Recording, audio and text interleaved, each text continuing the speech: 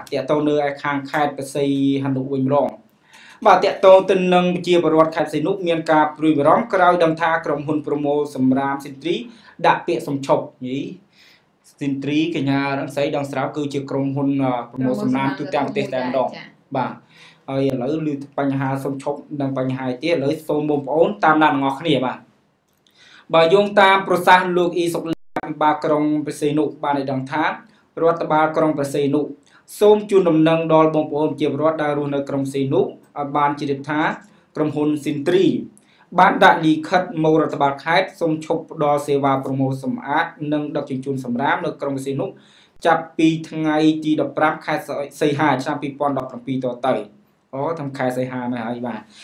ប៉ុន្តែរឿងហ្នឹងតឡើយបាទកើតឡើងតឡើយលោកបានបញ្ជាក់បន្ថែមថាមូលហេតុដែលក្រុមហ៊ុនស៊ីនទ្រីសូមឈប់ប្រមូលសម្រាមដោយសារក្រុមហ៊ុនស៊ីនទ្រី រកស៊ីខាត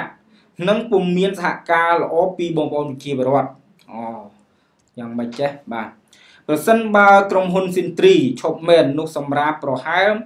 1470តោនក្នុងមួយសប្តាហ៍អូច្រើនណាស់បាទនឹងកោដូចភ្នំហើយ ពីព្រោះរយៈពេល1ខែរដ្ឋបាលខេត្តនិងរដ្ឋបាលក្រុងមិនអាចរកក្រុមហ៊ុនថ្មីទាន់ពេលបានទេពីព្រោះការបញ្ជាទិញឡានពីក្រៅប្រទេសយ៉ាងហោចណាស់គួរត្រូវការចំណាយពេលវេលា2ខែដែរ នេះមានន័យថាគាត់សុំឈប់ទាំងបខំពេកកណាគាត់សុំឈប់ទាំងបខំអញ្ចឹងអញ្ចឹងធ្វើឲ្យខាងរដ្ឋបាលខេត្តគាត់ពិបាកស្រួលអញ្ចឹងយូរដឹងស្រាប់ហើយកញ្ញារាសីមួយថ្ងៃមួយថ្ងៃគឺសម្រាមគឺច្រើនបងប្អូនយើងប្រាស់ប្រាស់រាប់តោនឯនោះចុះទម្រាំមួយសប្តាហ៍ទៅមួយខែបាទអញ្ចឹងជាបញ្ហាធំបាទហើយសប្តាហ៍ថ្ងៃនេះបងប្អូនជារដ្ឋដែលរស់នៅក្រុងបរសៃនុតែងតែរិះគន់ ក្រុមហ៊ុនស៊ីនទ្រីគ្រប់បែបយ៉ាងប៉ុន្តែបងប្អូនបានបងសេវាប្រមូលសម្រាប់ឲ្យក្រុមហ៊ុនស៊ីនទ្រីត្រឹមតែ40%ប៉ុណ្ណោះមានន័យថាតិចមួយណាស់នេះហើយជាបញ្ហាដែលក្រុមហ៊ុនស៊ីនទ្រីប្រឈមមុខគឺរកស៊ីខាតហើយមានបាទមិនបានទទួលភាពកក់ក្ដៅពីជាបរដ្ឋទៀតអូបាទគឺមានន័យថាគាត់យកភាគរយពីបងប្អូនជាបរដ្ឋបាទថោកហើយទទួលការរិះគន់ពីបងប្អូនជាបរដ្ឋ ចា៎បន្ទាប់ពីរដ្ឋបាលខេត្តនិងរដ្ឋបាលក្រុងទទួលបានលិខិតសុំឈប់ផ្ដល់សេវាប្រមូលនិងដឹកជញ្ជូនសម្រាមនៅក្នុងក្រុងសេនុភ្លាមរដ្ឋបាលខេត្តក៏បានកោះប្រជុំបន្ទាន់មួយនៅសាលាខេត្តដោយមានការចូលរួមពីរដ្ឋបាលក្រុងមន្ទីរសេដ្ឋកិច្ចនិងហិរញ្ញវត្ថុមន្ទីរបរិស្ថាន និងក្រុមហ៊ុនស៊ីនទ្រីការប្រជុំវិភាសានិងចរចាចំណាយពេល3ថ្ងៃលទ្ធផល បានត្រឹមក្រុមហ៊ុនស៊ីនទ្រីយល់ព្រមប្រមូលនិងដឹកជញ្ជូនសម្រាមមួយខែទៀតប៉ុណ្ណោះ អូមនីចរចាគាត់ជួយបានមួយខែទៀតគឺចាប់ពីថ្ងៃទី14ខែសីហាដល់ថ្ងៃទី14ខែកញ្ញានេះតែម្ដងបាទចា៎ហើយបើក្រុមហ៊ុននៅតែបន្តខាតទៀតក្រុមហ៊ុននឹងឈប់វិនិយោគផ្ដល់សេវាប្រមូលសម្រាមនិងដឹកជញ្ជូនសម្រាមនៅក្រុងវិស័យនោះទៀតហើយក្នុងនោះរដ្ឋបាលក្រុងគួរត្រូវចំណាយលុយបង់ខាតឲ្យក្រុមហ៊ុនសិនទ្រីចំនួន30000ដុល្លារអំឡុងពេលក្រុមហ៊ុនប្រមូលនិងដឹកជញ្ជូនសម្រាម មួយខែនេះផងដែរអបាទមានន័យថារយៈពេលមួយខែហ្នឹងបើសិនជាគាត់ខាតទៀតគាត់គឺបញ្ឈប់វិនិយោគតែម្ដងអូមានន័យថាការចរចាឲ្យក្រុមហ៊ុនប្រមូលសម្រាប់មួយខែហ្នឹងគឺនៅចរចាគ្នាបាន បាទប៉ុន្តែបើសិនជានៅខាតឬក៏មិនមានការយកចិត្តទុកដាក់ឬក៏មិនមានការជួយសហការពីបងប្អូនជាបរដ្ឋទេ គឺគាត់ចាឈប់តែម្ដងជួយសហការនេះគឺ មិនឲ្យបងប្អូនទៅដើរប្រមូលសម្រាមយកទៅបោះចោលទេគ្រាន់តែបងប្អូនវិចខ្ចប់ឲ្យបានត្រឹមត្រូវតែប៉ុណ្្នឹងឯងចាវិចខ្ចប់ អាណាដឹងថាអាណាថងអីដាក់ឲ្យត្រឹមត្រូវកុំឲ្យចោលតែពីវាពីការធម្មតាតែចោលញញ៉ៃអ្នកដែលប្រមូលគ្នានោះមិនមែនមេធំធំនៃសិនត្រីមកប្រមូលណាគឺកម្មករនឹងឯងហើយតែកម្មករគ្នាធុញគ្នាធុញទ្រាន់គ្នាលាឈប់តែឈប់យូរយូរចិត្តតែរកអ្នកថ្មីមកតឡើងប្រាក់ខែឲ្យព្រោះថាមិនការងារស្រួលណាចាបាទកញ្ញារាសីនេះហើយជាបញ្ហាឥឡូវយើងបន្តតិចដូច្នេះក្នុងនាមរដ្ឋបាលខេត្តផ្សេងនោះសូមពៀវនាវដល់បងប្អូនជាប្រវត្តិដែលរស់នៅក្រុងផ្សេងនោះសូមចូលរួម បាទភ្ជាប់សេវាប្រមូលសម្រាមនិងបងសេវាសម្រាមដល់ក្រុមហ៊ុន ដើម្បីឲ្យក្រុមហ៊ុនមានលទ្ធភាពផ្ដល់សេវាប្រមូលនិងដឹកជញ្ជូនសម្រាមជូនបងប្អូន បានរាល់ថ្ងៃនិងបរិស្ថានល្អមានន័យថាខាងរដ្ឋបាលគាត់សំណូមពរហើយជាបន្ថែមសេវាបាទន័យថាដំឡើងថ្លៃសម្រាមទៅលើបងប្អូនជាពលរដ្ឋបាទហើយសូមបញ្ជាក់ផងដែរថាកន្លងមកមានបងប្អូនជាពលរដ្ឋមួយចំនួនតូចបាទមួយចំនួនតូចបានបោះចោលសម្រាមតាមអូន និងដឹកសម្រាមលួចទៅចាក់ចោលនៅលើចិញ្ចែនផ្លូវសាធារណៈនេះហើយជាទម្លាប់មិនល្អបងប្អូនជារដ្ឋមួយចំនួននិងដីឡូទុកចោលហើយទោះបីរដ្ឋបាលក្រុងបានសហការជាមួយមន្ទីរបឋានចាប់ឡាននិងពិន័យជាច្រើននងក្តីគោនៅតែមានបងប្អូនលួចដឹកទៅចាក់ចោលដដាលចាក់ស្ដែងសល់មិញនេះក្រុងបាទខាងក្រុងបានសហការជាមួយមន្ទីរបឋាន ចាប់ផាកពិន័យម្ចាស់សន្តាគារមួយកន្លែងដែលដឹកសម្រាប់ការឋាន ទៅចាក់ចោលលើចិញ្ចើមផ្លូវសាធារណៈនេះដល់ម្ចាស់សន្តាគារហើយហើយខំក្រុងសីនោះជាតំបន់សេដ្ឋកិច្ចតំបន់ទេសចរទៀតហើយគាត់មិនយល់ដឹងគាត់ទៅចាក់សម្រាប់លួចដឹកសម្រាប់ចាក់លើផ្លូវសាធារណៈចាចឹងមិនដែរកញ្ញារដ្ឋវិចាសន្តាគារមួយទៅមួយមិនវិនិយោគលុយ10000ដុល្លារចេញឯណាព្រះហើយចាយ៉ាងអន់ណាស់ហើយយ៉ាងទៀតណាក៏ជិត50ម៉ឺនដែរម្ចាស់សន្តាគារមួយនៅពិសេសនោះហើយ គ្រាន់តែលុយឲ្យថ្លៃសម្រាមតិចតួច10 20ដុល្លារ30 40ដុល្លារគាត់សុខចិត្តរីអឺគុំរីបាទមិនហ៊ានបោចាអត់ហ៊ានបរិចាឲ្យទៅគ្នាសុខចិត្តយកទៅចាក់ចោល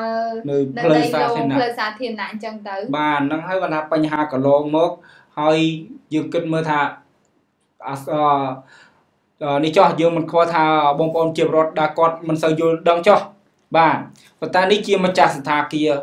ទាំងមូលហើយគាត់ ទៅលួចចាក់ទៅសាធារណៈដល់ពេលខាងរដ្ឋបាលខេត្តស្រាវជ្រាវអាម្ចាស់ស្ថាគារតាអញ្ចឹងបានអញ្ចឹងចេះឈ្មោះសម្ញាំអីកោកោហ្នឹងកន្លែងហ្នឹងទៅពេលលួចតាមដានម្ចាស់ស្ថាគារសោះបាទវាទៅជាអញ្ចឹងហើយកន្លងមកខាងផ្សេងនោះក៏មានករណីដែលពេលភ្លៀងស្ទះស្ទះដល់ពេលមើលតាមនេះតាមប្រព័ន្ធលូតាមប្រព័ន្ធលូផ្លូវដែលទឹកច្រោះចូលលូណា ចាសគឺសិតតែសម្រាប់មាននៅកកស្ទះវិញហ្នឹងចាបើនិយាយពីករណីនេះយើងមិនបានថាបន្ទោសអាប់ទៅលើក្រុមហ៊ុនឬក៏ស្ដីបន្ទោសជាប្រវត្តិទេតែពេលខ្លះកើតមានករណីបងប្អូនឈប់ប្រើប្រាស់សេវាកម្មក៏បណ្ដាលមកពីក្រុមហ៊ុនមួយចំនួនដែរបាទចាកើតឡើងពីខាងក្រុមហ៊ុនដែរមិនថាអត់ស្រោយពេលខ្លះទៅដឹកជញ្ជូនអត់ទាន់ពេលវេលាសម្រាប់អ្នកដែលគាត់បង់ថ្លៃសេវាដឹកជញ្ជូនអត់បានពេលវេលាហើយគ្នាវិខ្សោត្រូវហើយពី យកតាមបន្តិចហ្នឹងហើយបើសិនថាថ្ងៃហ្នឹងគ្នាតិចស្រាប់តែពីរថ្ងៃថាថ្ងៃហ្នឹងមានកម្មវិធីឬក៏សម្រាប់រឿងច្រើនខុសធម្មតាបន្តិចហ្នឹងបាទគឺខឹងលែងប្រម៉ូគ្នាចាឡើងលុយឡើងលុយអញ្ចឹងទៅបងប្អូនបងប្អូនអន្តពលចិត្តក្តៅក្រហាយឈប់ប្រើប្រាស់សេវាហ្នឹងចាជ្រើសរើសទៅការដឹកសម្រាមនឹងយកចាក់ចោលនៅតំបន់ណាមួយដែលដីលោទុកចោលឬក៏ដឹកយកទៅចោលនៅភូមិណាមួយអញ្ចឹងហើយដឹកចោលខ្លួនឯង នេះកើតមានករណីនឹងផ្ទាល់ហើយថាមិនមែនថាមិនមែនបន្ទោសទៅលើក្រុមហ៊ុនទាំងស្រុងទេព្រោះករណីនេះវាកើតមានមែនហើយរឿងដែលធ្វើឲ្យបងប្អូនអន្តពលចិត្តហើយឈប់ប្រើប្រាស់នៅសេវាប្រមូលសម្រាមបាទហើយក៏មកករណីទៀតគឺដោយសារតែបងប្អូនហ្នឹងគឺអត់មានខ្ចប់ត្រឹមត្រូវទេ ឲ្យតែដឹងថាដាក់សេវាសម្រាមហើយមិនបាច់ខ្វល់មិនទៅក្បាលអ្នកណាគឺចោលឲ្យរៀបរៀបការតែម្ដងចាហើយត្រូវយល់អារម្មណ៍គ្នាផងបងប្អូនហើយចាអ្នកប្រមូលសម្រាមបងប្អូនមើលគ្នាមានស្អាតដូចយើងទេក្រិចគ្នាប្រឡាក់ឲ្យពេញទាំងអស់ណាបាទនេះហើយគឺជាហើយរត់ដេញតាមលោកលោកស្រុនបាទលោកស្រុនមានធ្លាប់ឃើញតែគឺរត់ឡានចិត្តបើចាឡានហ្នឹងអត់ទៅឈប់ប្រហែលទេគឺបើកតិចតិចហើយគ្នា អ្នកប្រមូលនោះគឺរត់ដេញតាមឡានតាមឡានបាទចាហើយមួយទៀតចាក្រុមហ៊ុនក៏មានករណីអារឿងអឺបងប្អូនពលឹមឡើងត្រូវរត់ដេញតាមឡានយកទៅបោះចោលក្នុងឡានដែរអញ្ចឹងហើយធ្វើបងប្អូនគាត់ក្តៅហាយកន្លែងចំណុចហ្នឹងណាគាត់បង់សេវាសោះតែរត់តាមឡានដូចតែសុំទៀនបាទខ្ញុំធ្លាប់ឃើញហើយជឿថាបងប្អូនជារដ្ឋនៅរាជធានីក៏ថាធ្លាប់ឃើញនេះគ្នាដែរបាទធ្លាប់ឃើញយេឡានធម្មតាបើកយឺតយឺតចឹងទឹកទឹកទឹកទឹកអញ្ចឹងអញ្ចឹង អឺអ្នកប្រមូលសម្រាប់ហ្នឹងធម្មតាគឺគាត់ទៅមួយទៅមុនឡានហើយគាត់ប្រមូលយកមកដាក់ក្នុងឡានតាមហ្នឹងតែសម្រាប់ខ្លះដោយសារបងប្អូនជារដ្ឋគាត់ប្រមូលតអស់នៅក្នុងនៅក្នុងផ្ទះគាត់អញ្ចឹងអ្នកមកសម្រាប់គាត់ប្រមូលតែតាមផ្លូវឯងអញ្ចឹងឡានចេះទៅដល់ពេលគាត់ប្រមូលអស់ទៅអញ្ចឹងមានន័យថាឡានគេអត់ឈប់ទេគេនៅទីទីចឹងក៏រត់តាមបាទរត់តាមតោគ្នាដល់អញ្ចឹងទៅទម្លាប់ខ្ញុំឃើញដូចជានៅផ្លូវនេះ ផ្លូវបរិយភពថ្មីអញ្ចឹងឃើញថាពេលខ្លះទម្លាប់ជាប្រវត្តិឲ្យតែលឺឡានសម្រាប់មកគាត់ស្រីតគ្នាចាគាត់សេចឡានមកហើយដើម្បីដើម្បីត្រៀមអត់គ្រាន់តែឈប់ឲ្យគាត់ដាក់បន្តិចទៅអត់បានបាទវាទៅជាទម្លាប់ហើយអតីតកញ្ញារ៉េសីធ្លាប់លើកឡើងមិញមិញអញ្ចឹងគឺករណីតាក់ទងទៅនឹងការមិនសហការពីបងប្អូនជារដ្ឋគឺមានថាគាត់អាងគាត់បងលុយឲ្យសេវាសម្រាប់អញ្ចឹងគាត់អត់វិច្ចចប់ឲ្យស្អាត ឲ្យដើម្បីងាយស្រួលទាំងអស់គ្នាឲ្យគាត់ពង្រាយជួនកាលគាត់យកទៅដាក់ចោលកន្លែងគេស្តុកទុកម្ដងទៅពីវាវាការវិញហ្នឹងអញ្ចឹងករណីនេះឃើញបើសិនជាឡានសម្រាប់គាត់មកយករាល់ថ្ងៃរាល់ល្ងាចវាមិនអីទេតែកន្លែងខ្លះ2ថ្ងៃទៅ3ថ្ងៃបាទគាត់មកយកដល់អញ្ចឹងទៅកន្លែងហ្នឹងវាទៅជាកន្លែងធំក្លិនអាសោចបាទចាអញ្ចឹងតតែខាងក្រុមហ៊ុននិងបងប្អូនសហការគ្នាទៅបរិស្ថានវាល្អចាមិនមែនថាកន្លែងខ្លះបងប្អូនគាត់សហការហើយ ឡាន3ថ្ងៃមិនមកដឹកម្ដង ចាហើយដល់មកហើយអត់ឈប់ទៀតរត់ដេញតាមឡានចាអញ្ចឹងទៅធ្វើបងប្អូនក្តៅក្រហាយឈប់ប្រើប្រាស់សេវាហើយដល់កន្លែងខ្លះអញ្ចឹងទៅ បងប្អូនប៉ះកន្លែងម្ដុំខ្លះវាមិនមែនថាទាំងអស់ហើយណាមិនអញ្ចឹងម្ដុំខ្លះបងប្អូនខ្លះគេស្រួលម្ដុំខ្លះមានបងប្អូនយល់ពិបាករឿងចោលរញ៉េរញ៉ៃចាសម្រាប់មិនបានវិខ្ចប់ត្រឹមត្រូវអញ្ចឹងទៅធ្វើឲ្យក្រុមហ៊ុនក្តៅក្រហាយអញ្ចឹងទៅបាទតែវាម្នាក់បន្តិចម្នាក់បន្តិចចូលរួមម្នាក់បន្តិចនឹងឯងបាទខ្ញុំសូមលើកឡើងតិចញ៉ារស័យនៅកំពង់សោមហ្នឹងការប្រមាណដែលមកទឹកមុននេះតាក់តងភ្លៀងនៅផ្សេងនោះនេះបាទភ្លៀងនៅផ្សេងនោះហ្នឹងគឺពើតែភ្លៀងហ្នឹងស្រាប់តែ លៀងវាលិចលិចលិចនៅសង្កាត់ណាដល់ពេលហើយខាងភ្នាក់ងារព័ត៌មានយើងគាត់បានចុះស្ទូឌីយោចាបានចុះស្ទូឌីយោដល់ទៅមើលអូរមូលហេតុស្ទះ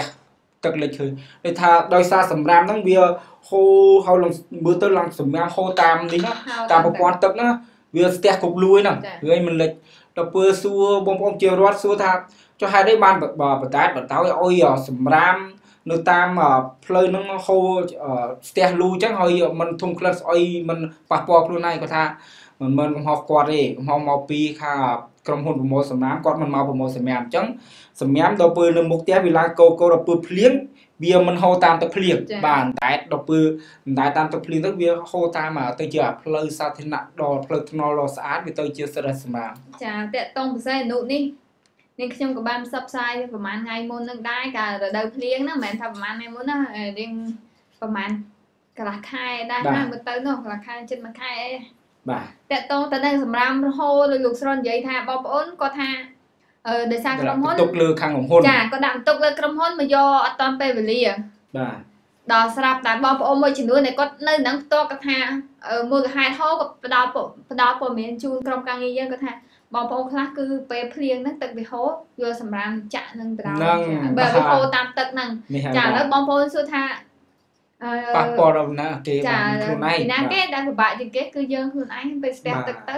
ស្ទះទូទៅនៅហូរហៀស្ទះផ្លូវពេញហ្នឹងពេលស្ទះទៅទឹកហ្នឹងទឹកណាទឹកចេញពីសម្រាលហ្នឹងឯងពីទឹកលូពីទឹកអីហ្នឹងសើតែពោពេញទៅដោយធាតុកខ្វក់ចាអញ្ចឹងសំខាន់គឺអឺនាងខ្ញុំ និយាយនេះអធិស្ឋានដល់បងប្អូននិងក្រុមហ៊ុនសិនត្រីផ្ទាល់និយាយទៅក៏ចង់ឲ្យមានការសហការយើងមិនថាយើងបន្ទោសទៅក្រុមហ៊ុនសិនត្រីទាំងស្រុងទៅដាក់លើបន្ទុកលើគ្នាហើយក៏មិនអាចទៅបន្ទោសលើបងប្អូនទាំងស្រុងដែរវាមានការរួមចំណែកគ្នាបន្តិចបន្តិចម្នាក់ដូចនេះខ្ញុំឃើញមានករណីនេះផ្ទាល់ហើយក៏កើតឡើងផ្ទាល់លើខ្លួនឯងដែររឿងអឺដល់ព្រលឹមឡើងហ្នឹងគឺត្រូវតែ ប្រកបការប្រាប់គ្នាអំបន់ហ្នឹងបីរត់ដេញតាមឡានឡានសិនត្រីយកសម្រាមចោលចាយើងបង់សេវាទេប៉ុន្តែរត់រត់តាមឡានអញ្ចឹងតែហ្មងចាបាទ